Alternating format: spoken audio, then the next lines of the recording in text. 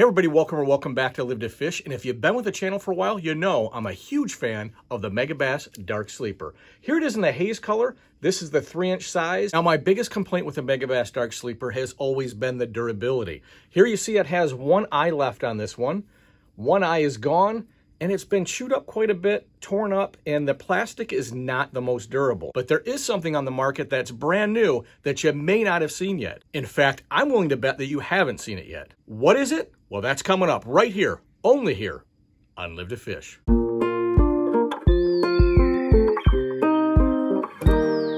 Everybody, welcome back to Live 2 Fish. And if you're new to the channel, please do me a favor.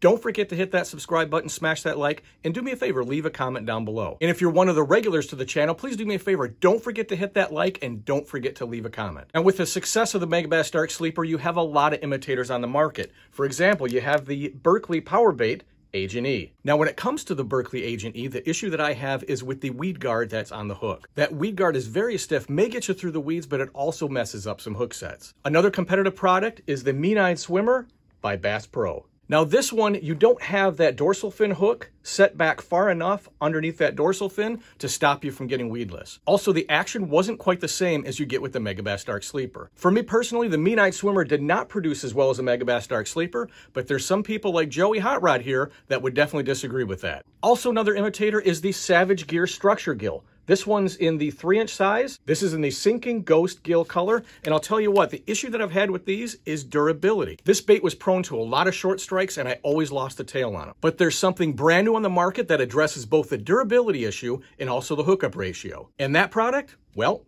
that's the Z-Man Gobius. Let's break open the package and take a look. All right, here it is brand new on the market. The Z-Man Gobius.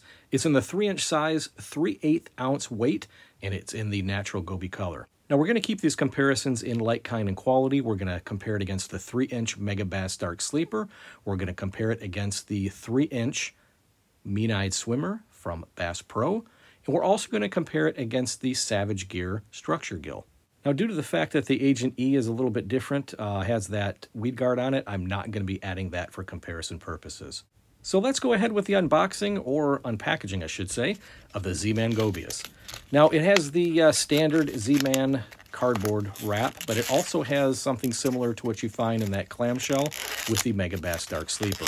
So it has its own little housing, which you can kind of keep. I would recommend that you keep those in your tackle bag, tackle box, uh, because you can always put it back in there when you're done. That way it keeps that tail from crimping up or um, maybe misshaping that bait and it kind of keeps it back in its natural form. So here it is. Let me get this little piece of paper off here that's kind of stuck to it.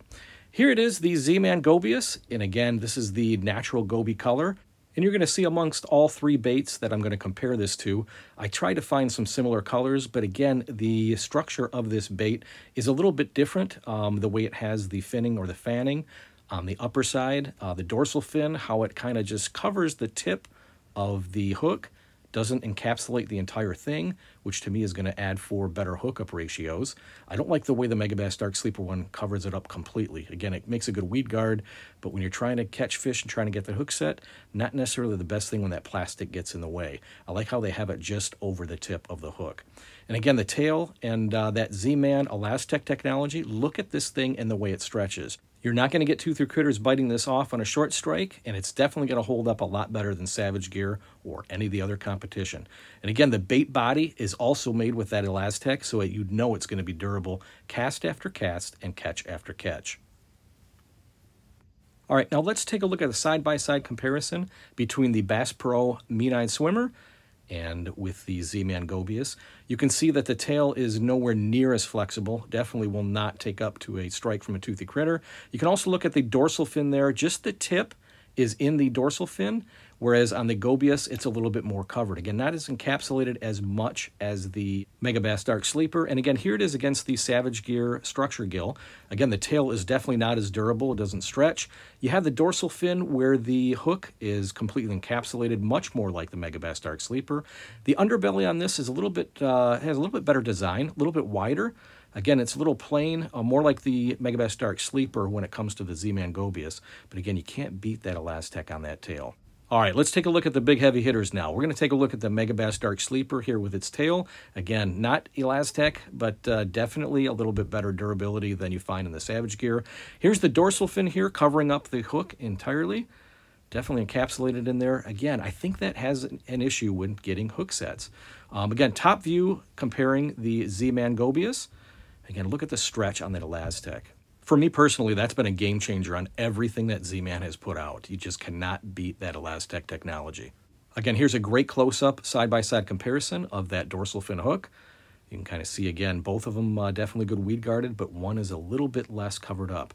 On the underbelly, they're definitely about the same, very smooth, definitely not as uh, detailed as the structure gill, but again, I would take either of these over that any day. And there you have it, the new kid on the block, the Z-Man Gobius.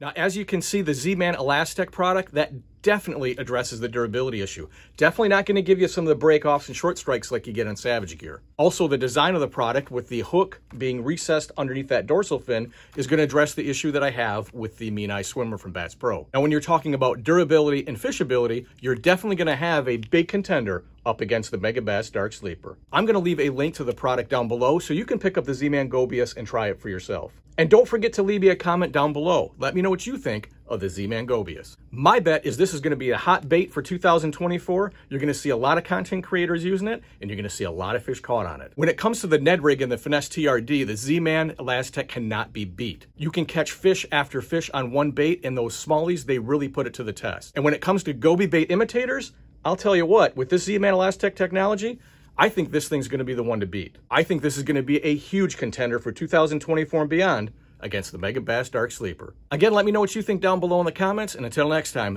be safe, be well, and as always, live to fish. Take care, everybody.